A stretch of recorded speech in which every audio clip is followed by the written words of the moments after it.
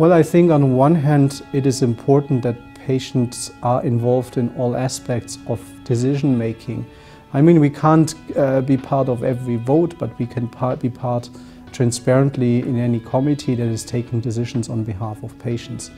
And secondly, I think what is very important is that there is transparency who's taking decisions and to what level patients have been involved in decision making. I think more transparency on the whole process will make our life much easier, and will create better decisions on behalf of patients as well. I remember to begin with, I saw that the payers and the regulatory system were barriers.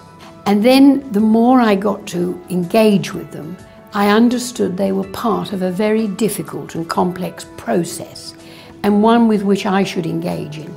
And the more I engaged in it, the more I understood why they were there and the challenges that they faced themselves. I think it's a really good time to ask that question because we've just had the National Centre for Pharmacoeconomics partner with us for a, an, a EUPATI event actually in Ireland to train patient representatives in HTAs. And it's the first kind of event of this time, of this kind, that targeted the patients directly.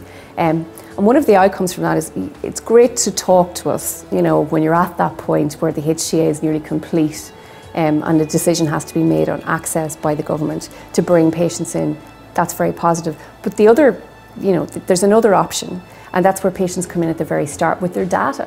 A lot of patient organisations have registries, they have information on their patient population.